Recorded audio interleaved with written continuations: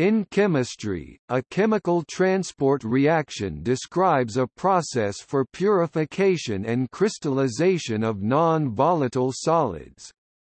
The process is also responsible for certain aspects of mineral growth from the effluent of volcanoes. The technique is distinct from chemical vapor deposition, which usually entails decomposition of molecular precursors e.g. silicon hydride C 2H2 and which gives conformal coatings. The technique, which was popularized by Harald Schäfer, entails the reversible conversion of nonvolatile elements and chemical compounds into volatile derivatives. The volatile derivative migrates throughout a sealed reactor, typically a sealed and evacuated glass tube heated in a tube furnace. Because the tube is under a temperature gradient, the volatile derivative reverts to the parent solid and the transport agent is released at the end opposite to which it originated see next section. The transport agent is thus catalytic. The technique requires that the two ends of the tube which contains the sample to be crystallized be maintained at different temperatures. So-called two-zone tube furnaces are employed for this purpose.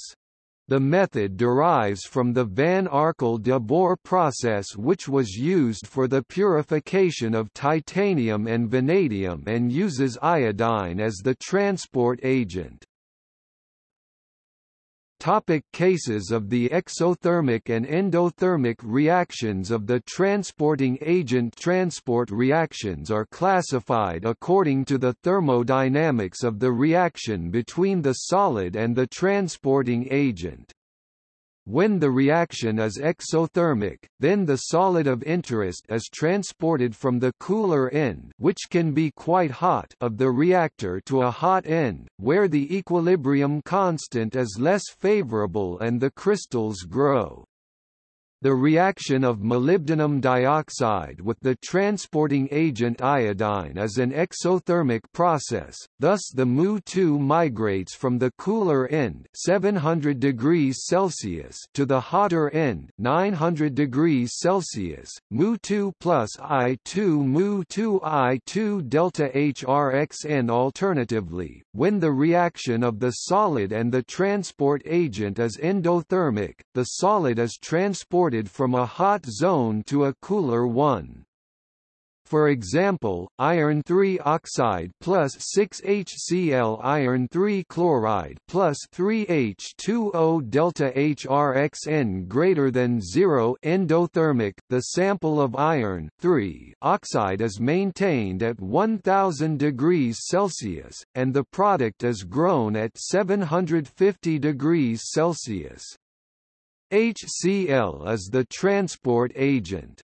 Crystals of hematite are reportedly observed at the mouths of volcanoes because of chemical transport reactions whereby volcanic hydrogen chloride volatilizes iron oxides.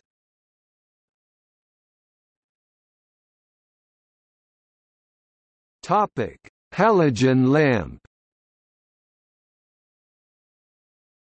A similar reaction like that of MoO2 is used in halogen lamps. The tungsten is evaporated from the tungsten filament and converted with traces of oxygen and iodine into the WO2I2. At the high temperatures near the filament the compound decomposes back to tungsten, oxygen and iodine. WO2 plus I2 WO2 I2 delta HRXN